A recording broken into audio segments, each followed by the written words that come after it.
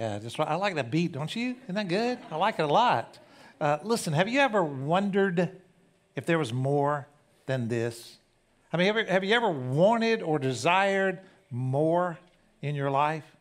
It's really interesting. You know, I may have told you this before, but our daughter in law, Gina, taught Eleanor, who's now six years old, and then Josie, who is three years old, four years old, four years old, and then Margot, who's a little over a year, to do sign language before they could speak. Are you familiar with that?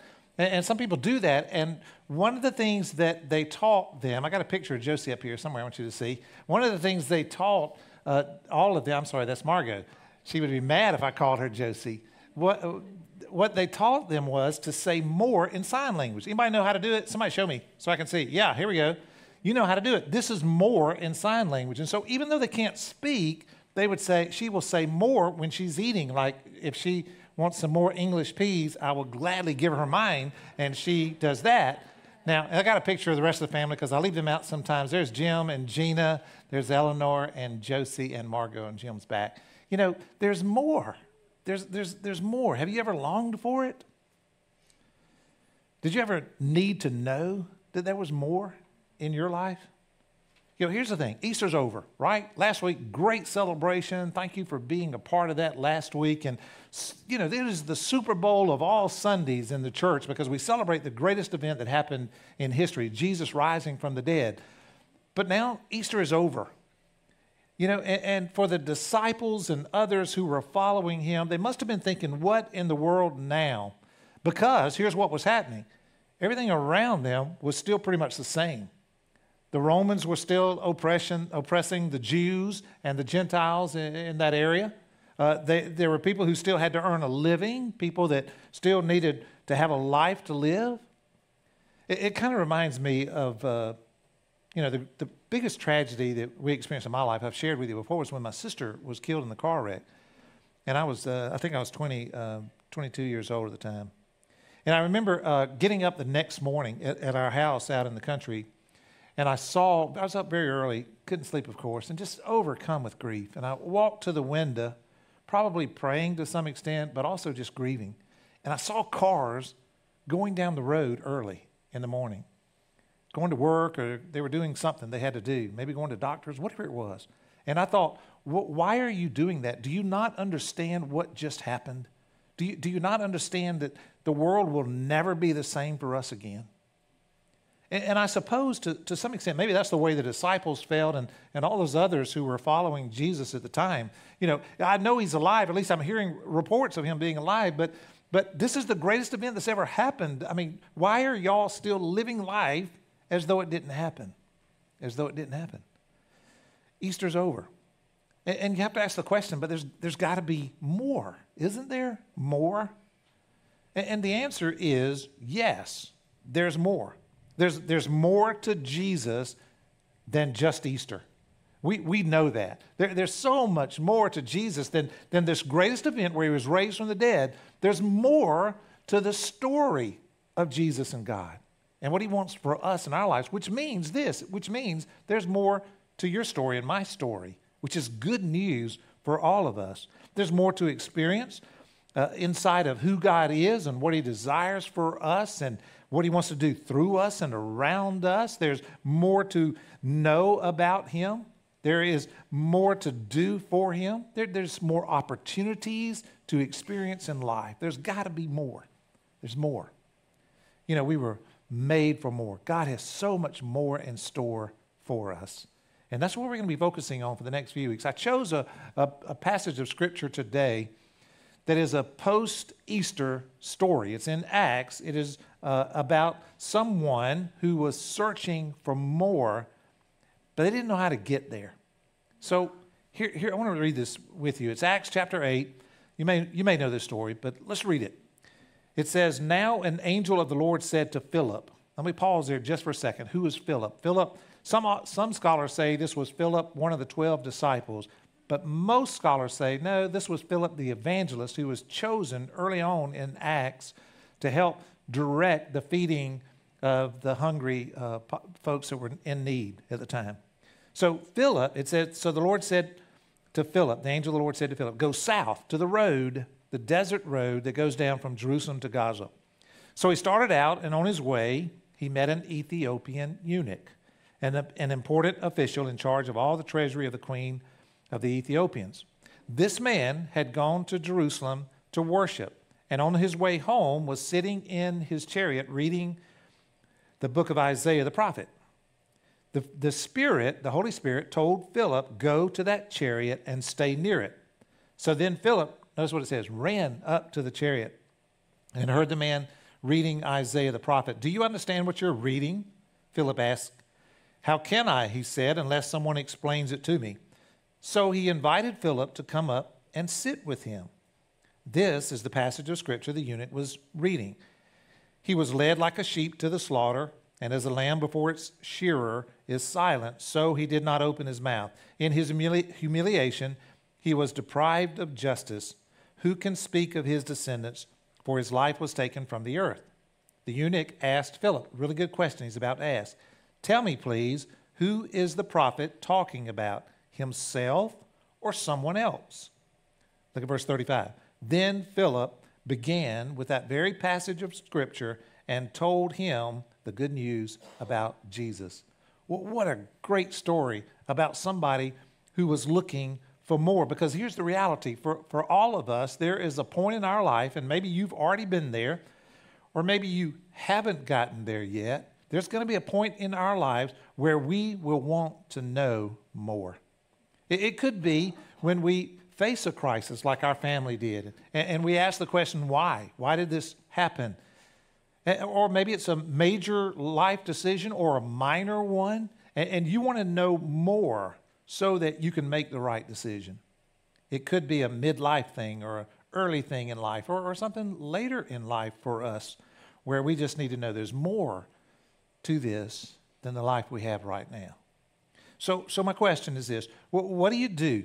Where do you go when you need or want to find more? Where, where do we go? And, and just a couple of thoughts. Here's the first one. I think this is really important. When we seek more, when we're, when we're looking for it, we need to search. We must search in the right place. We got to do that. You know, many of us search for the more in the wrong place.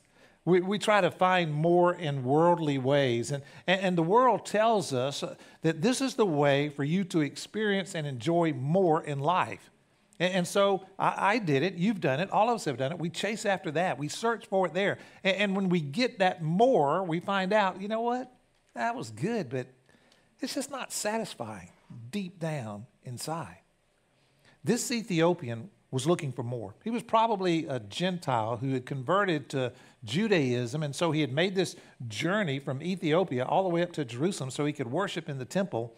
And, after having that experience of worship, he's on his way back home now, and he's, he has this desire to know more about God and God's plan and what's going on. And so he's reading from the great prophet in the Old Testament, the prophet Isaiah you know, the, the good news is this when, when, when we need to know more, often here's what we do we, we go to somebody who's wise and we ask them for advice. We, we turn to somebody who knows maybe a little bit more than we do. And, and that's a good option because God places people in our lives who are wise who can help us. But in this case, the, the wisdom was coming from above through Philip. God placed Philip in the Ethiopian's life in order to help him understand God's plan and his story. You know, notice where Philip started. What did it say in verse 35? It said this starting with the very scripture, starting right where the Ethiopian was, right in the book that he was reading, the Bible, he begins to tell him the good news of Jesus Christ. And that, that's really important that he just he started right where he was and helped him to know about Jesus. Because Here's, here's what I believe the right starting place for us is in God's Word, it's in the Bible. And, and there was a long time in my life where I, I wasn't interested in that because you know why? Because I grew up in the church and I felt like I knew the stories and I kind of knew the story of God and of Jesus, and that was enough. But then I began to dig in and learn more and grow as I did. So Philip shares the story of Christ and it unfolds right before the eyes of this Ethiopian. And he does it by using that very passage. It's Isaiah 53. Sometimes it's referred to as the chapter uh, the suffering servant, which is all about what happened to Jesus Christ. I want to read just a little bit of it to you, but I want you to think about it from the perspective of what we know now about Jesus and Jesus on the cross. Look what it says. He, he's obviously referring to Jesus, just as Philip told the, the Ethiopian, he had done no wrong. We know that about Jesus. He never sinned. He had, and he never had never deceived anyone. But he was buried like a criminal. He was put in a rich man's grave. We know that to be the tomb of Joseph of Arimathea, a rich man who gave his tomb so that Jesus could be placed there. But, verse 10, it was the Lord's good plan. This was his plan all along to crush Jesus, to have him die on the cross and cause him grief. Yet, when his life is made, look what it says, an offering for sin. There it is. The whole idea that Jesus died for us on the cross, written hundreds, hundreds, hundreds of years before it ever happened. For he will have many, he will have many descendants. Those who believe in him then will be his children. We are. And so it says, He will enjoy a long life, and the Lord's good plans will prosper in his hands. Verse 11, when he sees all that he's accomplished by his anguish, he will be satisfied. And because of his experience, my righteous servant will make it possible for many to be counted righteous. That's you and me. Isn't that good? For he will bear all their sins. There's the whole story right there. And, and Philip gets to share that with the Ethiopian. Says, I, I need you to understand, I most likely, if Philip was, was one of the early evangelists, he was probably there when all of this unfolded uh, on the cross on Good Friday. And he's probably already been aware, may have been in those uh, who saw Jesus afterwards. So he said, I saw this happen right here. It's all about Christ and what he did on the cross. It's all about his plan. And so he heard the good news and he believed it. He believed it. And he found the more that he was searching for right there in that story in Acts. You know, when we find the right more, you know what happens to us when we find the right more? It feels really good. It's like, okay, this is, this is the kind of more I've been looking for. And, and you know what happens then? There, there's this peace that kind of washes over us. There's this sense of no matter how stormy it is outside, everything's going to be okay. And there is nothing better than that kind of a more. But we have to start in the right place. And that's God's word, honestly. But it's also spending time with Christ because he desires to spend time with us. That's the most amazing thing about the whole story is that Jesus Christ really wants to spend time with you and with me. Like we deserve that, right? But we don't.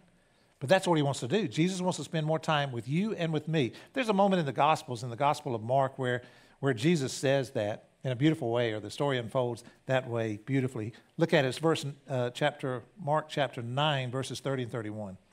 It says, upon, it says, leaving that region, they traveled through Galilee. Look what it says. Jesus didn't want anyone to know he was there. You wonder, why is that? We'll read the next verse. It's because, for he wanted to spend more time with his disciples and to teach them. Isn't that good? And, and so he wants to spend more time with us. He wants to teach us so, so that we can get to know him more, so that we can understand the story better, so, so that we can lean on him more and, and we can love him more and we can serve him more. That's why he wants to spend time with us. And the more time we spend with him, the more we take on his nature and his character. And, and something begins to happen inside of us. It changes the way we think and the way we act. We need more time with Him. So, so let, me, let me ask you what, what's the more in your life right now? What's the more that you want in your life right now?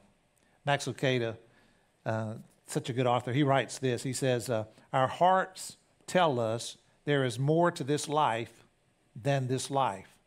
There is more. And, and we need to search for it. And we need to search in the right place.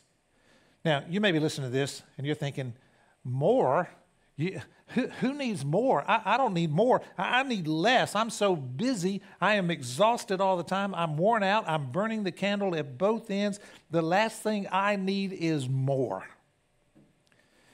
Well, let me just tell you, as your pastor, and let me just tell you in love that that's exactly the person who needs more But, but here, here's the truth the person who needs more needs more of the right stuff and less of the wrong stuff. Because we find ourselves sometimes taking more of the wrong stuff that really doesn't give us the more that we're looking for. So, if you were to choose more right now, what would you choose more of? And here's just some suggestions for you. What more might you choose? How about just more of Jesus, as Jamie prayed a few minutes ago? Just, just more of Jesus. Let me, let me spend more time with him, be with him more. More of the life that he calls me to. More in his word, studying his, his word, the Bible. More knowledge and understanding, which is where I'm going to grab that more. Or, or seeing more of what God wants to show me. God, what is it you're trying to show me as I'm going through this mess that's happening in my life? What are you, what are you trying to do? Show me more. What about this next one? Loving more. I need to be more loving. Or, or I, added this one saying, I love you more. Do you say that enough? I, I hope you do. You know, I, it's important to say it as well as do it. More giving. What about that one? Or more forgiving. There's so much more. More sacrificial, more caring and considerate of others, being, being more helpful around my house and around uh, the community and the church. There's so much more. And here's the beauty of it every time we seek more of Jesus, every time we do that, we get more than we thought we would get. It's true. It's true. The Ethiopian got more than he thought he would get by simply asking Philip, who is this person talking about in this scripture? I mean, can you imagine how God used the Ethiopian after he believed and committed his life to Christ? Well, there's a church father. His name is Saint Irenaeus of Lyons. He was a, he was a bishop early on in the church. And back in the, the second century, he wrote about this particular eunuch. And here's what he says. They actually believed that this was the man's name. They were able to identify him back then. It says, This man, Simeon Bacchus, the eunuch, was also sent into the regions of Ethiopia to preach what he had himself believed that there was one God preached by the prophets, that the Son of this God had already made his appearance in human flesh, and that and had been led as a sheep to the slaughter, and then all of the other statements which the prophets made regarding him. So, so this, this eunuch from Ethiopia became a preacher and spread the truth of Jesus Christ, the good news of Jesus Christ throughout Ethiopia and beyond. And because he wanted more on that day in that chariot, reading this, this book from the Old Testament, he came to know Jesus and put his faith in him because he was in the chariot with Philip. So, so what more might Jesus have for you right now? What's the more he has for you? We're going to explore more mores in the next several weeks. Uh, it's going to be good. But we can be assured of this because it's true of the Ethiopian that Jesus has more for us, just like he did the Ethiopian. But there's, there's more to the story. I'm not through with the Ethiopian yet because there's something beautiful that happened thereafter. After hearing the story and committing his life to Christ, he wanted even more. You know what he wanted to do? He wanted to mark this occasion somehow, and look what he, do, he does. It's in uh, the next few verses from where we began our reading today. In verse 36, it says this As they were traveling down the road, the man said, Look, here's a pool of water. Why don't I get baptized right now? It's beautiful. In, in one of the other translations, it says, What is it? What prevents me from getting baptized right now? It's, it's a beautiful passage. Philip replied, If you believe with all your heart, I'll baptize you. The man answered, I believe that Jesus is the anointed one, the Son of God. Verse 38 the Ethiopian stopped his chariot. He stopped the procession. All this, you can imagine this entourage heading back to Ethiopia. He says, Stop! And they pulled over on the side and they got down into the water and Philip baptized him. Baptism doesn't save us, but it's a public declaration that we belong to Jesus Christ and we're going to profess our faith and we're going to follow him all of our lives. You know, uh, there's some people today who've made that decision. They've decided, says, I have decided, they've decided to follow Jesus. and to do so by marking this occasion um, in a beautiful way. So, the Ethiopian, great story. And, and then look what happens to him.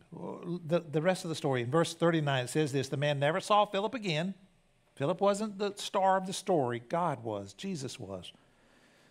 It says he returned to Ethiopia full of great joy. Isn't that good? Because he found more. He went searching for it in the right place and he got it. So, where are you searching for more? Here's some next steps for you this week. I will ask someone to help me understand more about Jesus. Maybe that's you. Maybe you just find somebody and say, Listen, I'm trying to get this down, but I, am not there yet. Help me. I'll spend more time with Jesus. Listen, all of us ought to check that one. Every one of us ought to. I will seek more of the right thing and less of the wrong thing. We should all check that one too. And the last one, I will ask Jesus to reveal more of himself to me. I could check that one as well.